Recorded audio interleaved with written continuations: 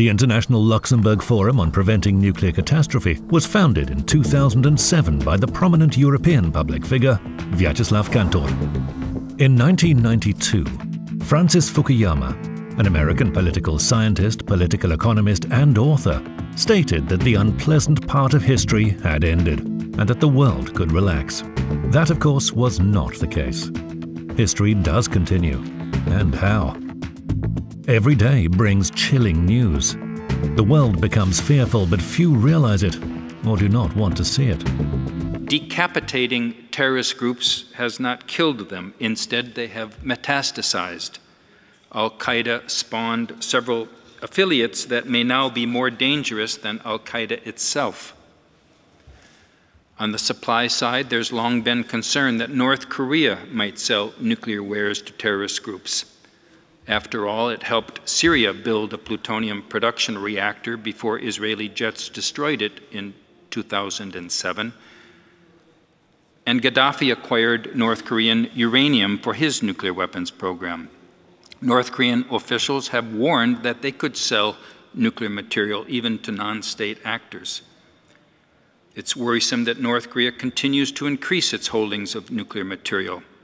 They could conceivably conclude that they have more than enough for their own purposes, and thus some could be sold for profit. Given the relative simplicity of making gun type bombs using highly enriched uranium, this material is potentially attractive to non state actors, as you know. It's all the more important then that diplomatic engagement with North Korea succeeds in stopping production of nuclear material and agreeing on steps to eliminate existing stocks. There's also the prospect for nuclear terrorism in South Asia, as uh, Ambassador Lukin mentioned. The recent uh, uh, arrest of Julian Assange reminded me of the release nine years ago by WikiLeaks of U.S. diplomatic cables that expressed concern that fissile material in Pakistan could fall into the hands of terrorists. A 2009 cable from the U.S. Embassy in Islamabad said, quote, our major concern is not having an Islamic militant steal an entire weapon, but rather the chance someone working in government facilities could gradually smuggle enough material out to eventually make a, a weapon, unquote. The concern is based on Pakistan's growing stockpiles of fissile material, the number and brazenness of extremists in the country, and the creeping fundamentalism of the society. The more weapons and fissile material that is produced, the more potential there is for theft, seizure, or sabotage. To do this successfully, we must change the way we think about the risks of nuclear use. We have new risks and new problems, but old thinking. The burden of change starts with us. The risks are not, in fact, that one country is preparing a nuclear provocation against another. The risks lie in the fact that today there are too many non-state actors, many extremist organizations that have substantial potential and could trigger real problems that may subsequently involve nuclear powers. Considering that today sophisticated technology leaves little time for political decision-making, this could happen at any time and quite suddenly. We know how world wars were provoked by relevant incidents and we know the result. In the context of the unavailability of a political control mechanism, a lack of trust and negotiation processes, such incidents might provoke developments that many states might not be prepared for, and that is where the real danger lies. We're the Luxembourg Forum on Preventing Nuclear Catastrophe, meaning that it is possible to prevent nuclear catastrophe, and therefore steps should be taken to do so. That is the goal of our forum and the conference. It's no accident that the older generation working in the Luxembourg Forum wants the next generation to have the fear, in the finest sense of the word, of nuclear catastrophe. For the younger generation, nuclear weapons aren't seen as a terrible danger, but as an efficient instrument. Grey-haired people like me should draw attention to it if the young people lack adequate understanding. Regrettably, we've become used to it. The vast majority of the world population has become used to it. Year after year, People have been told of the nuclear danger and that we all may die, and sooner or later they stop listening. It will take some time for these apprehensions to reappear.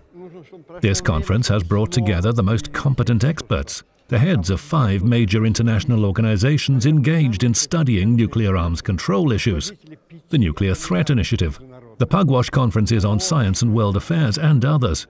And I have the impression that we're going through a crisis of absence of demand. No one is listening to such experts. John Bolton doesn't care a damn. He has already scored two points, first by destroying the ABM Treaty, and then by nearly destroying the INF Treaty. Now he wants a hat trick to close a new START treaty and this is terrible. John Bolton is the United States National Security Advisor, known as a foreign policy hawk. Time doesn't permit a critique of the Ban Treaty here. Um, the Ban Treaty proponents say they intend the treaty to complement the NPT, but unfortunately, the treaty's provisions on areas such as safeguards show a disconnect between what states have supported in previous NPT review conferences and what they've been prepared to accept in this treaty.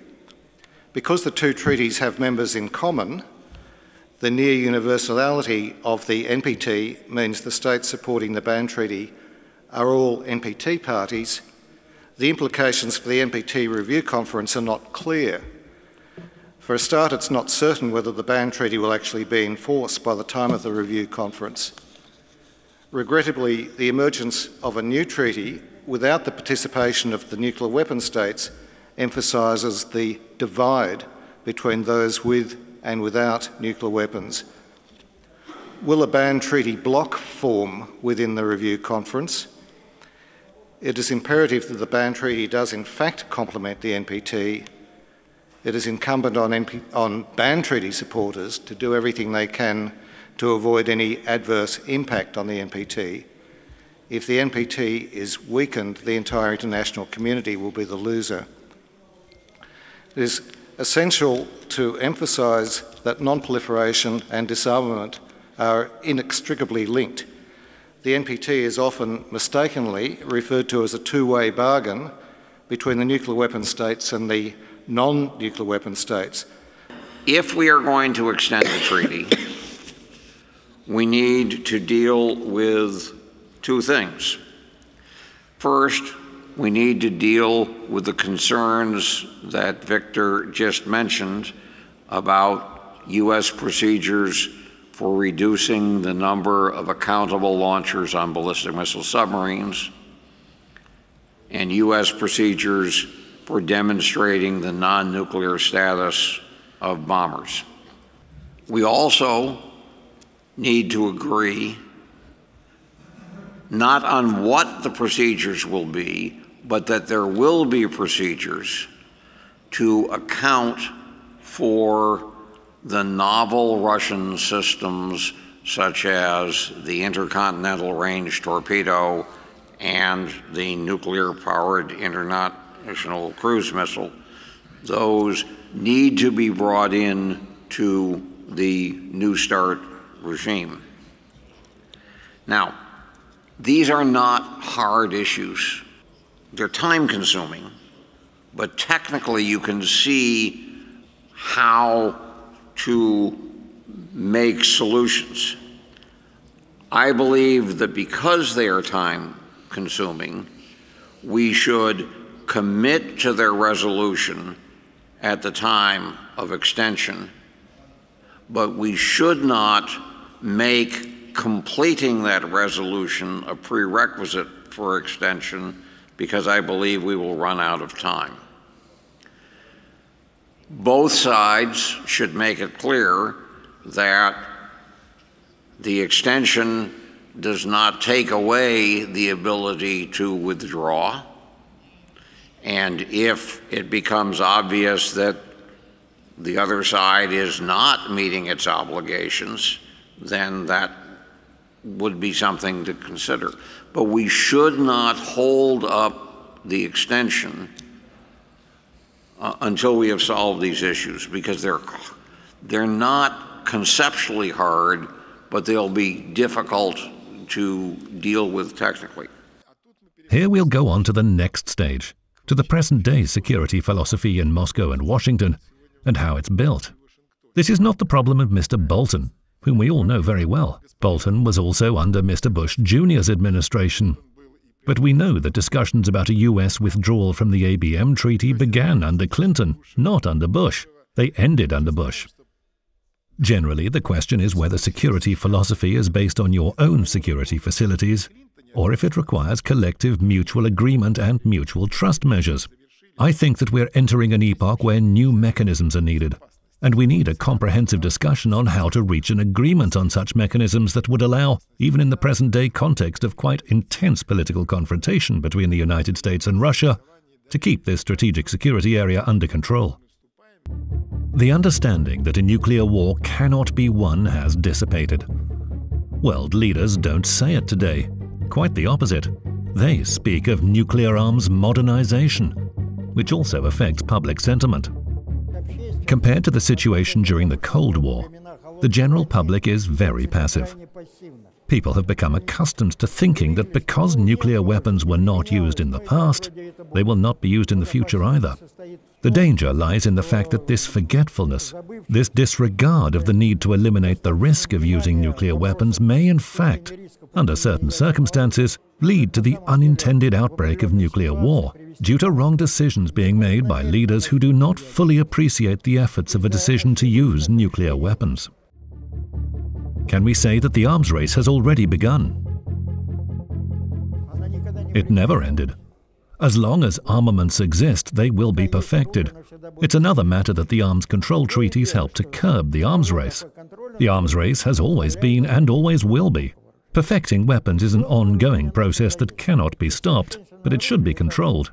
The arms control regime is an instrument for doing that, thus excluding an uncontrolled nuclear arms race.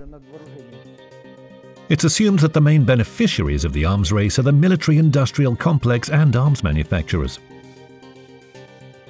Manufacturers produce weapons ordered by the military. If they have no such orders, they will not manufacture them. They are set a task, while new breakthroughs in technology allow the creation of more sophisticated weapons. It's an unavoidable process that cannot be stopped and should be controlled so it doesn't get out of hand. It should therefore be limited, otherwise we may face a great disaster. The point at issue is not just political positions, but also public sentiment. No one wants to negotiate and meet halfway. When you study history, including modern history, you understand the vigorous efforts, joint efforts, as the agreements reached were not unilateral agreements but bilateral and multilateral that helped reach a certain stage in the development of relations and maybe see future prospects. And when such prospects unexpectedly become obscure and sometimes vain, then professionally, it gives rise to certain emotions. Diplomacy, though, cannot be based on emotion and feelings. We should realistically assess the situation and see what can be done in this situation, how to find a way out, as there are no dead end situations. The main thing is to make a sober assessment and not to mistake a wish for reality. The most dangerous thing is a confrontation between the United States and Russia. Our countries have lost mutual trust that existed for several decades. When in doubt, questions were asked and answers were given within the permanent consultation process, but that process no longer exists. What is the state of relations between our two countries now? The lowest of the low, and largely due to the faults of both parties. In the case of the United States, it is endless sanctions, escalation of sanctions, the tough discourse of which we are all growing tired of. However, it should be said that the other side does not make clear statements on some issues, from polonium and Novichok to the Boeing over Donbass, but mere declarations. For the first time ever, the new American budget has allocated so much money for military buildup and opposition to Russia. However, for each move by one party, there's a countermove by the other. New types of arms are being developed involving autonomous systems and artificial intelligence. That's very dangerous because if artificial intelligence is combined with new types of weapon, humans might lose control.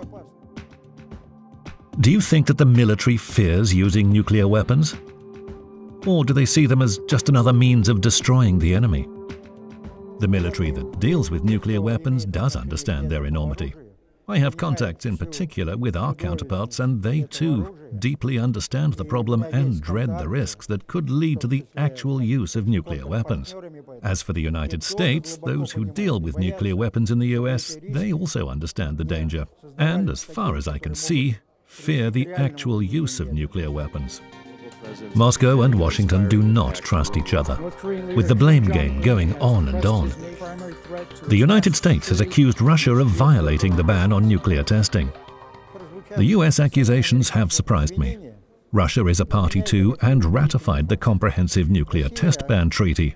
The Americans have not ratified the treaty and are likely to try to give good grounds for refraining from ratification because Russia allegedly violated it. That's my conclusion. Actually, Russia has no need for such testing as she is not developing any new types of nuclear device, deploys already developed weapons, and moreover, has cut the list of nuclear devices. The academic Sagdeev has lived in the United States for many years. Does the US establishment understand Russia? There are many smart people here, gurus, but holders of mandates for election to the Senate House or House of Representatives are not necessarily such gurus, but regrettably, they have the final say. And what about Russia's place in US politics? Today, Russia is mostly used in the interests of internal politics, the struggle between Republicans and Democrats. Russia is charged with interference in the elections and so on, but internationally, I think that Russia's contribution to the world economy has become quite insignificant. And this is the governing factor that determines attitudes towards Russia. Even now, at this very tense moment in bilateral relations, there is no hate in respect of Russia among the American political establishment. Perhaps there is irritation, but I wouldn't call it hate. A certain part of our establishment feels serious dissatisfaction, strong irritation concerning many issues such as Ukraine, the Crimea, of course, as well as the strange behavior of our president. All this gives rise to rejection. Naturally, the interference in the 2016 elections in the United States, although I for one do not consider it was a cardinal factor that determined the election outcome, but that's another matter. I see neither hate nor penetrative understanding. I'll tell you why. Despite this state of excitement, if not hysteria, though without hate, the United States is not as much interested in Russia as it was during the Cold War. Today, if I remember rightly, our bilateral trade is about 25 to 30 billion dollars. True, more Americans now go to Russia, but it's not that easy, as one has to obtain a visa and so on. Accordingly, it's now more difficult to get an American visa for Russians. But I think that's largely connected with a longer waiting time than with bureaucratic red tape. Generally speaking, the two countries are now swimming freely, as they say in Russia. Americans don't see Russia as a great power since, in the present day, the power of a country is determined by the efficiency of its economy, rather than its ability to destroy another state using nuclear weapons. But American political experts do keep talking about Russia. Judging by discussions and the Democratic Party's response to various statements made before the forthcoming meeting between Trump and Putin, the interest is considerable. But in terms of commerce and trade, business is business. There is no special interest. Most strikingly, and maybe unpleasantly, there is no Russian lobby in the United States. The situation is incomparable to US China relations. Even now, at a very tense moment with very serious negotiations underway, not only on trade but on a much wider range of issues in US China relations, the pro Chinese lobby is much larger, much more influential because the stakes are specifically much higher. What is Russia to President Donald Trump? What place does Russia take in his intense reflections on the outside world? Perhaps he remembers the Miss Universe competition in Moscow, but all his good words addressed to Russia notwithstanding, he still signs all the sanctions. And what about missiles with nuclear warheads? Do Americans see Russia as a threat to themselves? Obviously, they see Russia as an existential danger, meaning that at any time, should something go wrong, Russia might destroy American civilization. But for some reason, this does not lead to the conclusion that the parties should sit down at the negotiating table and find a way out. Before Russia sent troops to Syria and essentially changed the course of the war there, Russia was not seriously perceived as a military power due to the very strong intellectual heritage of the 1990s. Now she is perceived much more seriously. Militarily, if we factor out nuclear weapons, these are not everyday threats, but they are seen as something more serious. In addition, we have allied obligations to our European allies who are also important to us.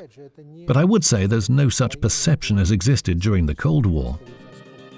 If the politicians dislike each other so much, then the militaries must also hate each other. No, that's not so, but regrettably, contact between the military sides, as far as the United States and Russia are concerned, has stopped.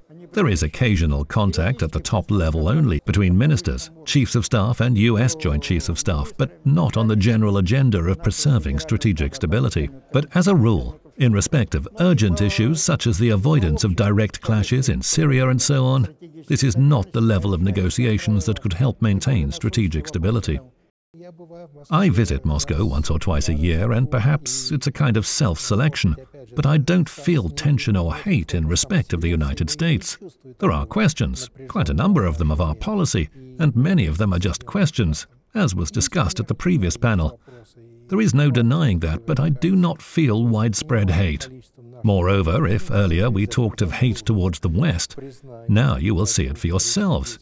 I came to Rome yesterday and walked through it and heard a lot of Russian voices. I remember my first arrival in Rome in 1978 when my family and I emigrated. There were no Rome guides in Russian then. Now there are lots of them. The influence of the Luxembourg Forum is based on the high level of its analytic consideration. The forum brings together the most reputable foreign and military policy experts from various countries. Outstanding scientists attended the conference, along with diplomats, political figures, and military experts who previously held high ranking posts as foreign affairs and defense ministers. Now and then a question is asked about whether relations between our countries have reached the bottom. I'm sure that both Moscow and Washington understand full well that if that were so, the consequences for our two countries and the world generally would be disastrous. Both countries demonstrated such an understanding during the Cold War years and hopefully will likewise demonstrate it now. This, however, is not a cause for appeasement. The great Notre Dame de Paris, a unique monument that had been visited by people from all over the world for centuries, was enveloped by flames in a matter of minutes, quite unexpectedly. No one believed it, but nevertheless it happened.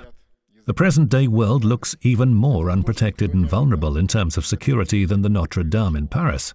From my point of view, Russia and the United States still have, and quite reasonably, a special responsibility for ensuring international security. First, Russia and the United States are still the only world powers capable of destroying each other multiple times, and the rest of mankind. Therefore, nuclear disarmament, non proliferation, and the prevention of nuclear terrorism are first and foremost the responsibility of our two countries. Yesterday, we heard the opinion that this subject may be discussed in various formats involving other states. I do believe that unless and until dialogue between Russia and the United States on these issues is resumed, any talk about other formats is unpromising. Second, Moscow and Washington, for a variety of historical, geographical, economic, and other reasons, are virtually bound to be involved in the most acute modern problems. Suffice to mention the Middle East, Afghanistan, and the Korean Peninsula. The global instability curve runs through the zones of vital interest for our two countries. This is vividly illustrated by the Middle East. Never before have the armed forces of Russia and the United States been in direct contact, as they are in Syria now. This is a new reality, and regrettably, it could occur elsewhere too. This morning, a Russian interceptor dangerously approached an American reconnaissance plane in the Mediterranean. This shows that we are now within that instability curve. Third, our countries are in the epicenter of many global problems from energy and ecology to cyberspace and space. Without mutual understanding and cooperation between our two countries, any progress in these areas will be extremely difficult. Who could expect that the United States would pay such attention to the Nord Stream 2 gas pipeline project, an economic project for all the countries directly interested in its construction? However, we see active effort by Washington against it. This is a global competition in the energy sector, and we can name the areas too. Today, it's very important to answer one question to oneself and to each other, one that is very important from my point of view. Are Russia and the United States uncompromising opponents in the present day world, or can they still be partners despite all the disagreements? This is not a simple question because we understand full well that our policies will depend on the answer to it. At the turns of the 20th and 21st centuries, Russia and the United States, Russia and NATO stated that they were partners and would jointly counter global challenges. I remember signing an instrument with NATO in 1997 and the establishment of the Russian NATO Council in 2002.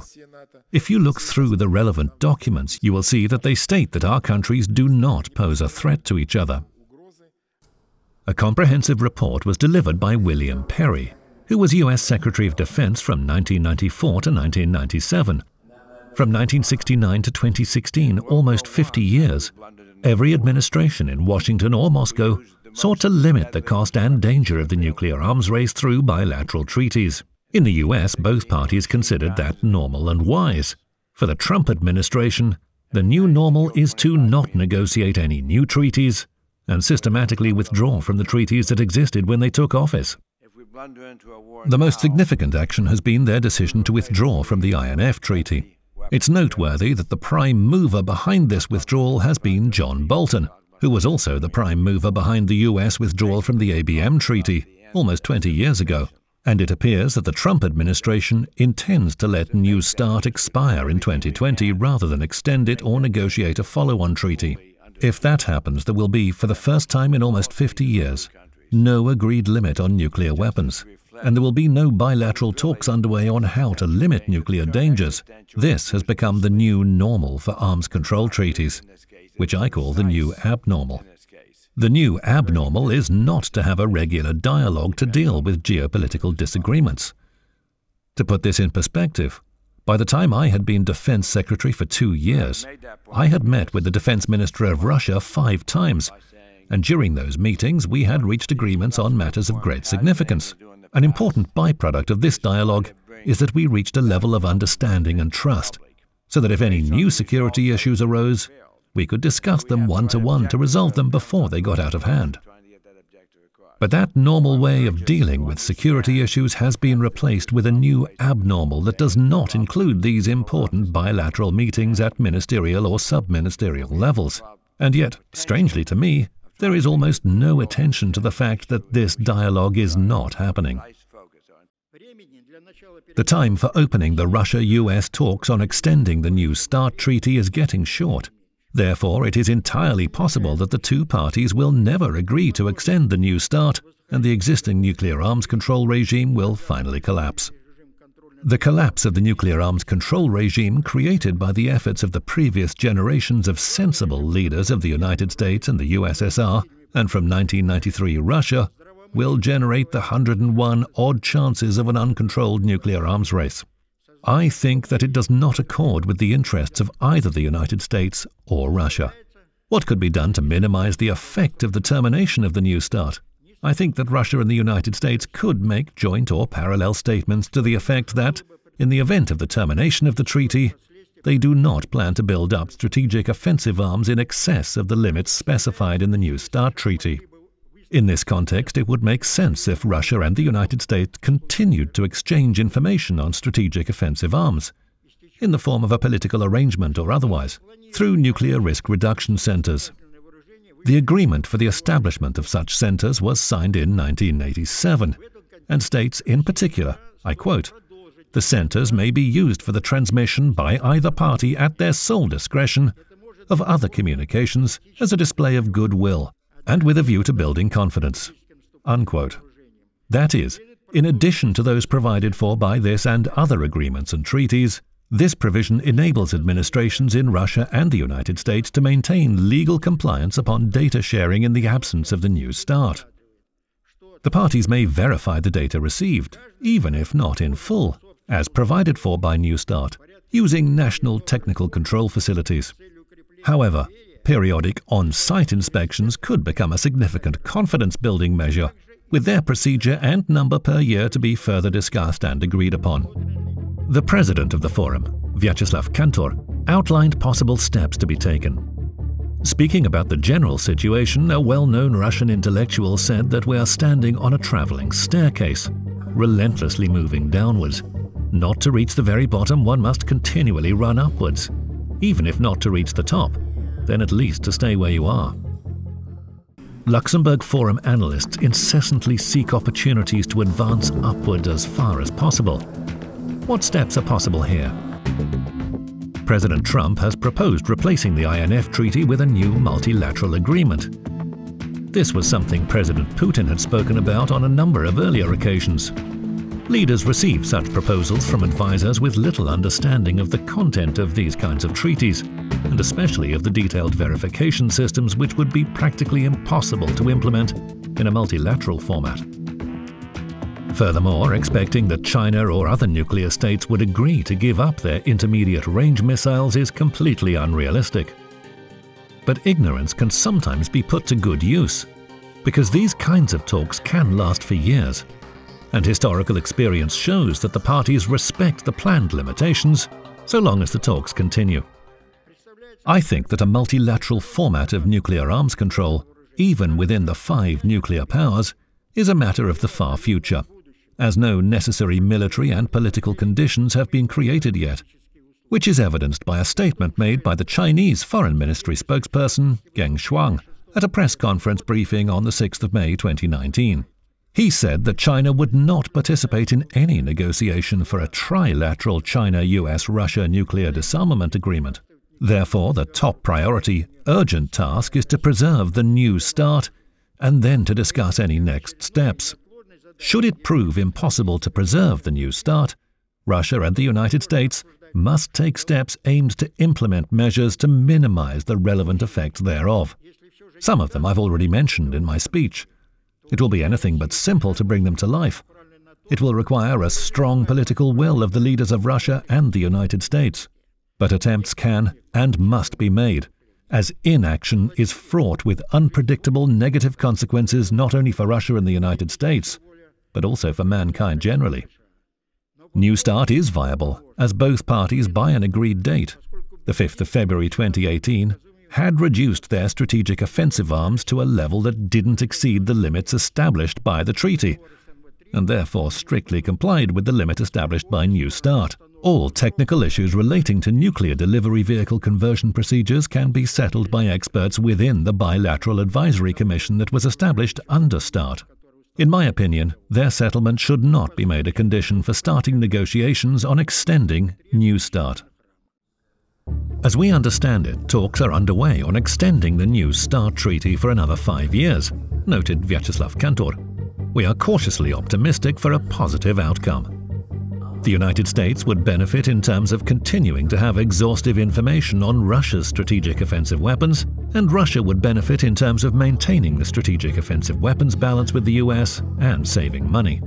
If the treaty is extended, we can hope that within five years an agreement will be reached on preserving the principles of strategic stability, and that this will result in the drafting of a follow-up START treaty. If that's true, if a follow-up treaty is drafted, President Trump would like to include China as well, but this looks highly improbable.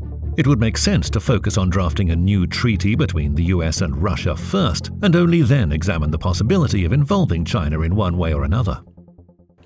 China is now getting close to the point where they say, as they have repeatedly said recently, are starting to seriously consider their global responsibility. They have accumulated the necessary resources due to their fantastic and unique development in the last 35 to 40 years, and indeed demonstrated how a country can be changed during one or one and a half generations. And now they have the resources. Not the finger behind the back, but actual resources to think about their global responsibility and global role including, without limitation, participation in dialogue on global stability. Is it possible to transform bilateral military agreements between the United States and Russia into trilateral arrangements involving China? In Russia, it's common practice to involve threes. Actually, I wrote a doctoral thesis on triangles, and I should say that the Chinese, who were the weak side of the triangle in the 1960s and 70s, coped admirably with a difficult situation. As a matter of fact, the key to a triangle is very simple. A situation where the weaker opponent has better relations with either of the other two opponents than they have with each other. The Chinese have succeeded in that. There were ups and downs, but generally they managed. Now it's not the Chinese who are the weak side. I don't know who, but not the Chinese. I think that this key still works, or it would work if it were inserted in the right lock. Participants at the International Luxembourg Forum conference in Rome met with the Vatican Secretary of State, His Eminence Cardinal Pietro Parolin, as part of the dialogue and joint initiatives between the Luxembourg Forum and the Holy See. I think that we managed to establish confidential and regular relations with the Vatican. This is not our first meeting with the Vatican, and we've met with the Pope and with Cardinal Parolin, and today I think that these meetings have been further successfully developed. At any rate, the task of the Luxembourg Forum audience accumulation could be accomplished with the help of this instrument. At the same time, I would like to emphasize that politically, nearly 1 billion people on our planet are Catholic, and the vertical integration of the Catholic Church management to a large extent may contribute to making this channel which we are now developing, an efficient instrument for promoting our ideas. The forum's prestige is growing. The Luxembourg Forum Conference in Rome brought together the heads of five major international organizations engaged in studying nuclear arms control issues the Nuclear Threat Initiative, the Pugwash Conferences on Science and World Affairs, the Global Zero Initiative, the Russian International Affairs Council, and the James Martin Center for Non-Proliferation Studies. The First World War, the Russian Revolution and other developments that followed as well as the Second World War were all based on many objective factors, but also in no small degree on atrophy of understanding of the enormous danger of war, both for existing and future generations. We should be wary of this danger, and I think the actual propaganda, if government propaganda can be useful at all, should be built around this idea perception of the necessity of what Alexander Solzhenitsyn called the saving of people. We have learned to pronounce this phrase, but failed to learn to save people. To save primarily means to save from mass destruction. This is a natural process that can be explained by mass psychology, low tide and high tide. A new high tide should be organized, but how to do that is outside the competence of the experts assembled here. I believe it's wrong to say that all lessons of the past remained unlearned and unpunished, and our conference is eloquent evidence of this. Yes, indeed, there are a good many people aged more than 60, me for one among the participants. Yet there are younger people too, university and postgraduate students who study these problems. True, not so many as in the time of the Cold War. We should not forget that after all, the situation is not as bad as it was during the Cold War although it is still quite strained. We are learning step by step, and I think that the examples from history when mankind either came close to the edge or crossed the edge, as in 1945, are so strongly engraved in our collective memory that it would be wrong to say that the lessons were unlearned and unpunished. There can be no solutions by force. They are an illusion. Take the First World War, a typical solution by force. Germany was stripped, Rhineland was taken. Germany was prohibited from having an army in excess of a meager level. And what was the result? The wounded, humiliated national feeling of a great nation. Unfortunately, it has found expression in flagrant, monstrous political forms. The Second World War was also followed by all sorts of things. Regrettably, our problems at the turn of the century, our third revolution for all its merits, has also led for a variety of reasons to a serious upsurge of wounded national pride. That must be overcome, but it can be done in different ways. You can embrace it and try to swim with the tide, or you can rise and stand against it, although it is very difficult to stand against a torrent. Or you can demonstrate finesse, intelligence, and common sense, and find a balance between patriotism and the need for long-term global solutions relating to quite different issues. For years, I have been an open and reliable supporter of Igor Ivanov and his appeals to prevent nuclear catastrophe, not because I like what he says, but because I am convinced that when he held the highest posts in the Russian Federation, he put all these principles into practice. At the time, relations between Russia and the United States, which have the same lasting value now too, were better and at a higher level. The idea that's especially close to my heart is that we have forgotten how to negotiate in principle. We are not prepared to hear each other. I mean, Russia and the United States. We don't understand that to say no to each other is a deconstructive position. I consider, and this is another of Igor Ivanov's ideas, that we might try to use the Vatican's procedure for electing a pope. Keep the representatives of both parties confined in a room until the white smoke appears, and make them negotiate on and on and keep talking and exchanging views. In the time of the Cold War, such was indeed the case. Soviet and US delegations stayed in Geneva for months when they negotiated the first treaties and arms control agreements. It was no picnic in those years, and the delegations worked on an ongoing basis. I remember full well how the delegations left, received new instructions, and came back a month later. They stayed there on a permanent basis. That is the right approach to the matter. Negotiations, especially in the current context with new technology, not just nuclear weapons, but the next step in technological development. What else will the human race invent to kill each other? These are the questions of today.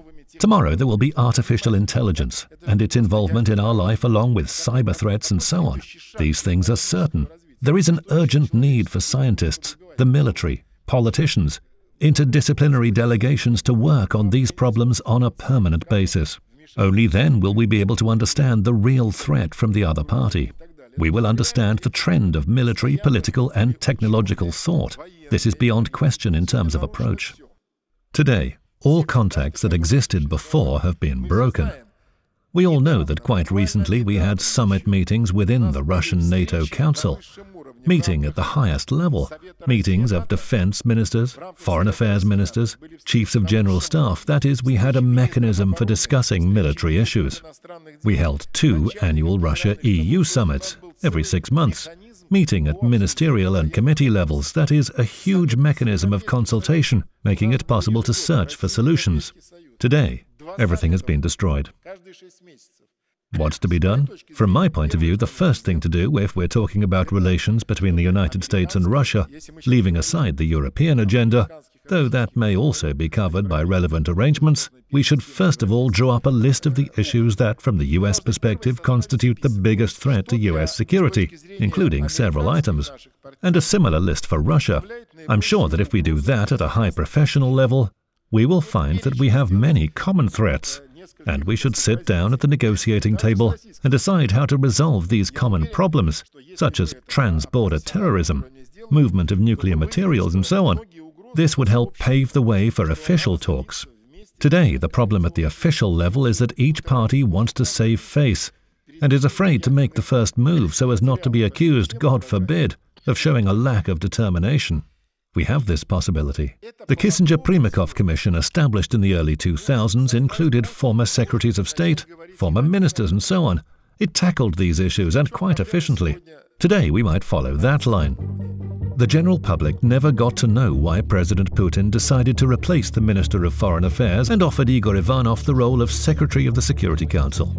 Igor Ivanov had aptly and carefully mended partnership relations with key Western countries, when he headed Russian diplomacy, the country had good relations with the outside world and could develop safely.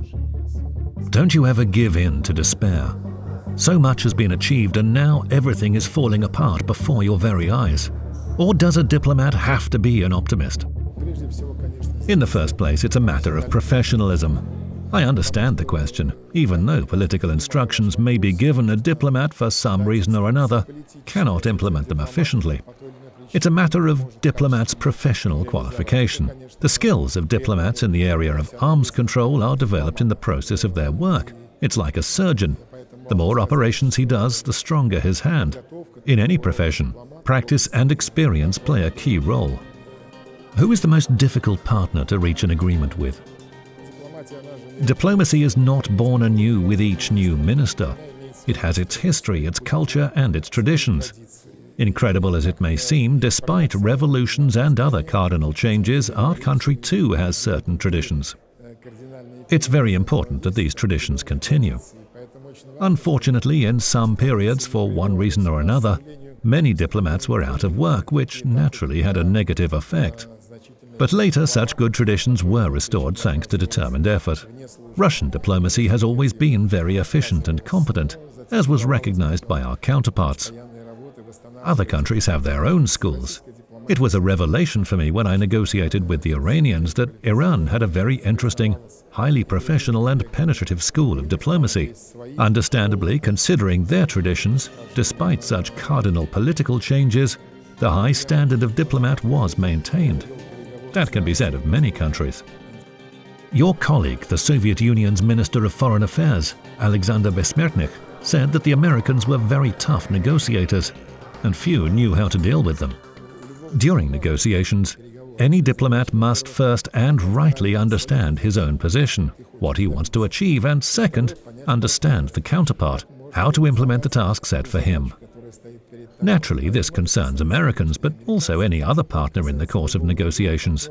The United States is sometimes a more difficult partner due to many factors. Their diplomacy may be sort of straightforward in terms of question formulation and attempts to gain their end. But nevertheless, as a rule, we succeed in striking a compromise in the course of negotiations. But how do you reach an agreement in such difficult situations? A negotiator, is that a special field of expertise in diplomacy?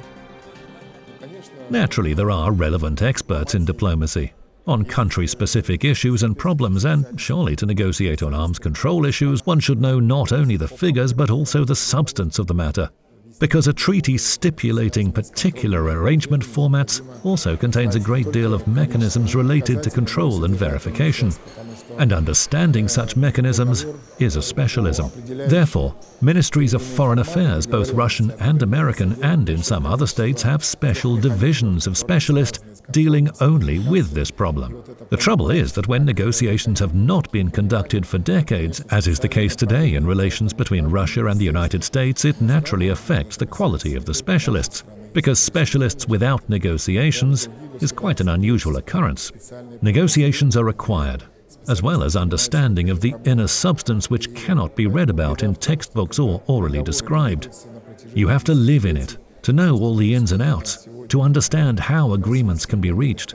It seems quite easy, but as a matter of fact, it's a very complicated process, and as you know, basic arms control treaties were negotiated for years on end, with enormous effort. Does that mean the diplomats failed in their job? Any treaty or agreement is a political decision. Diplomats implement the instructions given by political leaders. They may contribute suggestions for consideration, but again, the final decision, both at the initial and the closing stage of any such negotiation on arms control, is made at the political level. You rightly said that there are no insoluble problems. This is true not only in respect of arms limitation or arms control, but also of many other problems, including regional, border problems, etc. Therefore, it is first political will, and then the tools which naturally include, in addition to diplomats, many other professions, military and other experts. But this is the second stage. It's an important stage as the results of negotiation depend on the professional skills of the negotiators, but without a clear political goal. That is why I said that any negotiator begins with the understanding of his own position and the mandate of the other party, and then tries to reach relevant compromises. The first thing is the political decision of your country, your mandate. If your mandate is clear and provides for agreements, and you see that the other party also mandates such agreements, they are reached. Are your efforts not in vain? What steps can be taken? Yes, I think yes. We are, in any case, have to do our maximum efforts to stop uh, the uh, possibility, appearance of the possibility of the Third World War. And uh, I see the, some ways how to do it, in spite of the very negative tendencies which are existing in Europe and in the world in general. And um, to make some logical jumps, to, to make our discussion shorter, I would say that the way is uh, similar how to avoid economical uh, political and electoral egos. Uh, in this case, we have to address the efforts of uh, organizations like our organization, Luxembourg Forum, directly to, to young generation, mm -hmm. directly to wide auditorium, and speaking with them on their language. First of all, you know, I want to support strongly the initiative of Bill Perry. Bill Perry, a couple of years ago, started to produce short movies about the danger of nuclear proliferation, about the danger of local nuclear conflicts, about the danger of nuclear terrorism, which all, in reality, turns to be global conflict, global war, and destruction of civilization in general. They had, according to my understanding, not more than 20, 25,000 visitors. It's nothing. But idea is very, very global and on demand. If we can change the format of this presentation of uh, something which we don't like to imagine, but we can force to imagine through using the social media and um, Instagram as an example, best example. And we see a lot of positive examples uh, in the practice, on practice. So today we decided that uh, we'll um, organize the youth section of Luxembourg Forum and delegate this uh, young generation of the experts the function to make some provocative, so-called sexy product, maybe sometimes uh, terrifying the imagination, but making everybody interested, millions and maybe hundreds of millions of people, what means the real nuclear war and how it, it could destroy the whole civilization in general. We genet genetically we don't like this, but we have to, we are obliged to see the practical future that we could have if today we do not stop the war. This, first of all, should take and cover the wider auditorium and then politicians will follow because of their egos. They, they would not, it would not be possible to ignore these things. This is how I see the development of the situation. In other words, you're an incurable optimist. No, no. I am Virgo by sign. Virgos usually do not like any risks. By 24 hours 7 calculation about risks, they take them over and then they become very, very practical. Too many conflicts flare up because too many people are unable to understand the present day world in its full complexity. That causes disappointment, and the outcome is obvious. It's not reason that triumphs and sets the tone, but resentment, irritation, and anger. Instinct, too. This manifests itself in violence against things that people cannot and don't want to understand, just as it was in the 1930s.